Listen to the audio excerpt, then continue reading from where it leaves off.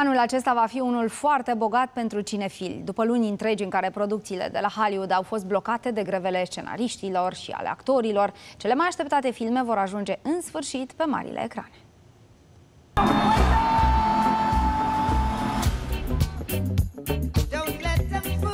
That's a hit.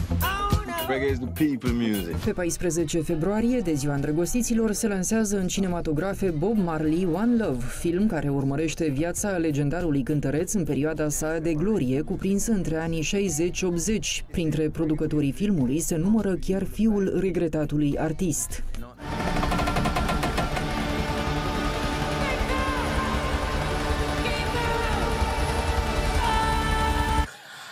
Programată inițial în 2023, lansarea filmului Dune, partea a doua, a fost amânată pentru 1 martie 2024 din cauza grevelor de la Hollywood.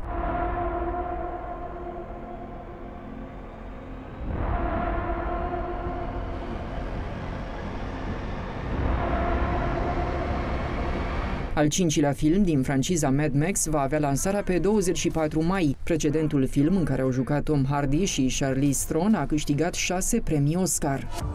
In the shadows of Arkham, I found my light, my madness, my Harley. Her laughter became my symphony. In the silence of this asylum, Partea a doua a filmului Joker, care în 2019 i-a adus premiul Oscar protagonistului Joaquin Phoenix, ajunge pe marile ecrane la data de 4 octombrie. În pelicula devenită musical, Phoenix face pereche cu Lady Gaga în rolul lui Harley Quinn. What was that?